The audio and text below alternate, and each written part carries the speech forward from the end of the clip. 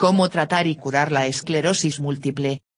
La esclerosis múltiple, EM, es una enfermedad desmielinizante e inflamatoria crónica que afecta el sistema nervioso central, SNC. Varias terapias para existir, aunque no existe una cura conocida. El curso inicial más común de la enfermedad es el subtipo de recaída-remisión, que se caracteriza por ataques impredecibles, recaídas, seguidos de periodos de remisión relativa sin nuevos signos de actividad de la enfermedad. Después de algunos años, muchas de las personas que tienen este subtipo comienzan a experimentar deterioro neurológico sin recaídas agudas. Cuando esto ocurre se denomina esclerosis múltiple secundaria progresiva. Otros, menos comunes, cursos de la enfermedad son la primaria progresiva, declive desde el principio sin ataques, y la disminución neurológica estable y ataques superpuestos recidivante progresiva. Diferentes terapias se utilizan para los pacientes que sufren ataques agudos, para los pacientes que tienen el subtipo de recaída-remisión, para los pacientes que tienen los subtipos progresivas. Para los pacientes sin diagnóstico de EN que tiene un evento desmielinizante, y para la gestión de las diversas consecuencias de la EM. Los objetivos principales de la terapia están regresando a funcionar después de un ataque, la prevención de nuevos ataques, y la prevención de la discapacidad. Como con cualquier tratamiento médico, los medicamentos utilizados en el tratamiento de la EM pueden tener varios efectos adversos, y muchas terapias posibles están todavía bajo investigación. Al mismo tiempo diferentes tratamientos alternativos son perseguidos por muchas personas, a pesar de que hay pocos elementos, comparable, replica el estudio científico. Se está estudiando la terapia de células madre. Este artículo se centra en terapias para el estándar de MS, las manifestaciones fronterizas de la esclerosis múltiple tienen tratamientos particulares que están excluidos. El tratamiento de la esclerosis múltiple generalmente constituye un enfoque multifacético que implica cambios en la dieta, suplementos y terapias de estilo de vida.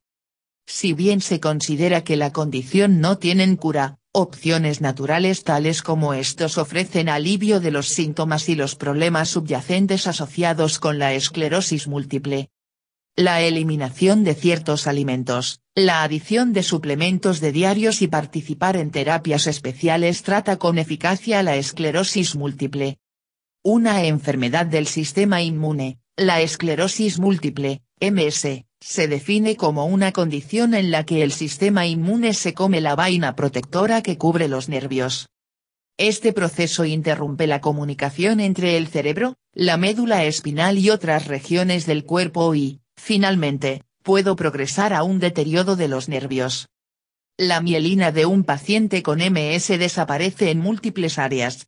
Esto deja una cicatriz, esclerosis, la esclerosis múltiple significa tejido cicatricial en múltiples áreas. Las áreas en las que hay o no hay suficiente o ninguna mielina se denominan placas o lesiones. A medida que las lesiones empeoran la fibra nerviosa puede romperse o dañarse. Cuando una fibra nerviosa tiene menos mielina los impulsos eléctricos recibidos desde el cerebro no fluir suavemente al nervio objetivo, cuando no hay mielina de las fibras nerviosas no puede conducir los impulsos eléctricos en absoluto.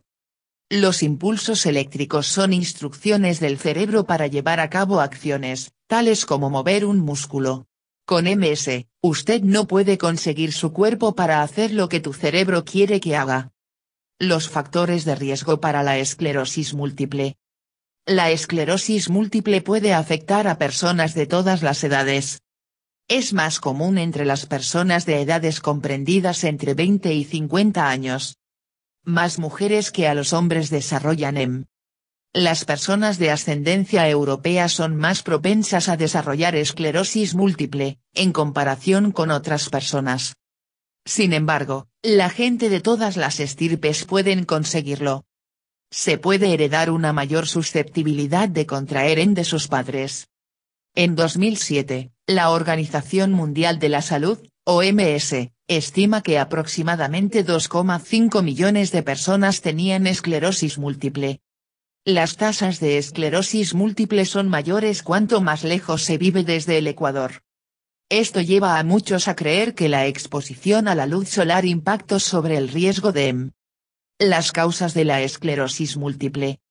Aunque los expertos aún son inciertas, la mayoría de ellos dicen que el propio sistema inmune de la persona ataca a la mielina, como si se tratara de un cuerpo extraño e indeseable, en la misma forma en que nuestro sistema inmunológico puede atacar a un virus o una bacteria.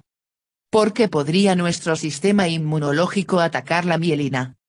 Las razones pueden ser genéticos, algunos estudios han demostrado que los genes que heredamos de nuestros padres puede, en parte, el impacto en nuestro riesgo de desarrollar esclerosis múltiple.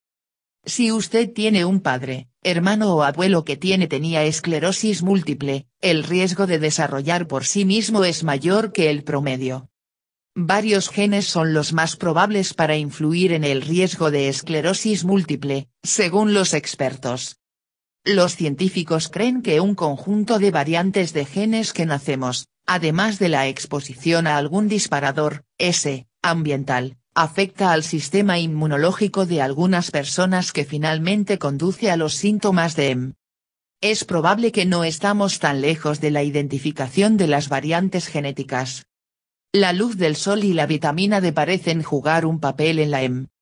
Ambiental, MS prevalencia varía según los grupos de población de la zona y geográficas. La esclerosis múltiple es mucho más común en el norte de Europa que en el sur de Europa, norte de Estados Unidos que el sur de Estados Unidos.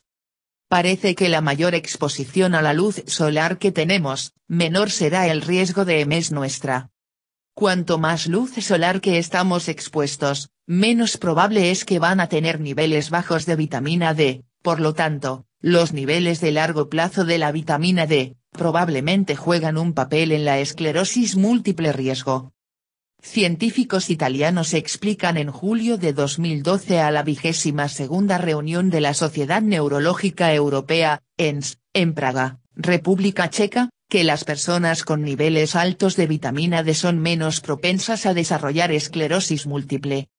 En los Estados Unidos, los blancos tienen un mayor riesgo de desarrollar esclerosis múltiple que otros grupos raciales, independientemente de su ubicación geográfica.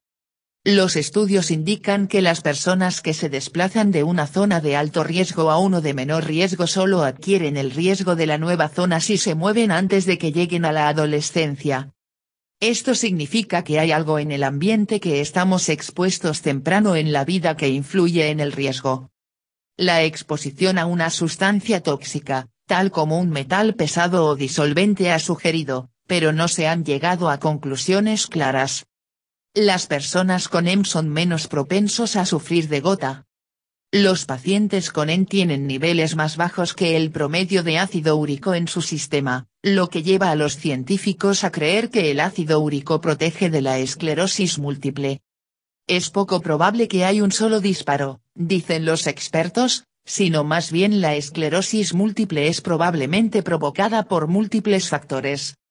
Infecciones, médicos e investigadores han virus, como el virus de Epstein-Barr, mononucleosis, varicela zoster, posible en provoca a menudo mencionado, sin embargo, esta teoría no ha sido respaldada científicamente. El exceso de sal, sal en exceso puede desencadenar el sistema inmunológico, causando enfermedades autoinmunes, los investigadores del Instituto de Tecnología de Massachusetts reportaron en la revista Nature, marzo de 2013 edición, el consumo excesivo de sal puede aumentar nuestro riesgo de desarrollar esclerosis múltiple.